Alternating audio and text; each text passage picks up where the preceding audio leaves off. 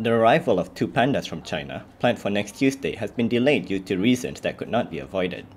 The Natural Resources and Environment Ministry said the ceremony to receive the giant pandas will be postponed to a future date.